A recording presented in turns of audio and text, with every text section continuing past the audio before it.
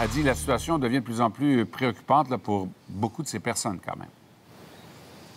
Oui, c'est la grande question, Michel. Est-ce qu'on va être confronté à une autre hausse du taux directeur au cours des prochains jours? Du moins, c'est la grande préoccupation de plusieurs propriétaires qui détiennent des hypothèques, vous l'avez dit, à taux variable et avec paiement mensuel fixe.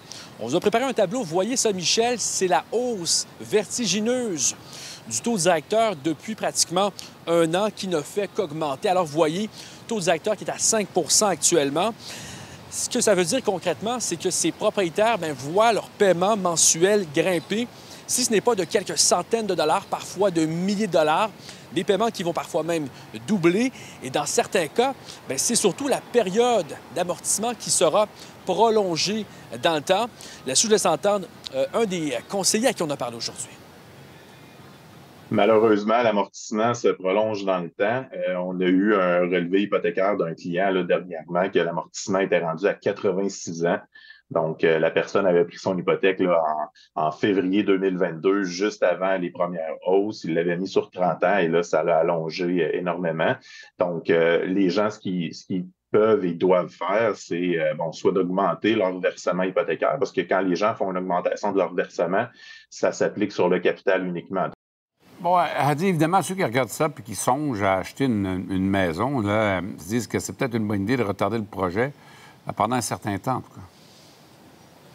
Écoutez, Michel, cette hausse euh, que plusieurs redoutent, évidemment, euh, même si elle ne se concrétisera pas, du moins c'est ce que croient plusieurs économistes qui ont été sondés par l'agence Rotaire, bien, suscite des craintes aussi dans le marché immobilier. Et là-dessus, je laisse entendre Mélanie Bergeron moi, je l'entends sur le terrain. Il y a des promoteurs qui mettent leurs projets sur la glace parce que les acheteurs ne sont pas là.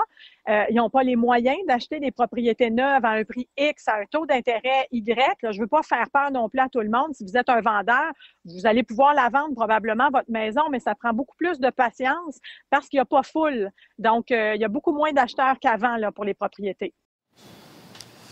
Michel, on aura l'occasion euh, au cours de l'après-midi et ce soir au TV 18 de vous faire entendre des témoignages de propriétaires qui se sont retrouvés, bien malgré eux, en toutes mes connaissances de cause, à payer davantage d'intérêts que de capital. Ce que ça veut dire, c'est qu'ils se sont retrouvés finalement à payer une hypothèque qui ne baissait pas.